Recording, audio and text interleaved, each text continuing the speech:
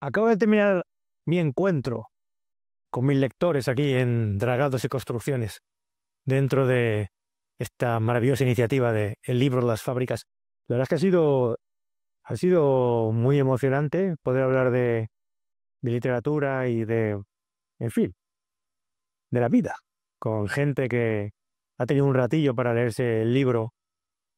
Y sobre todo ha sido emocionante para ellos porque han dejado de trabajar y se han venido y han estado aquí un ratico, pues pegando la hebra.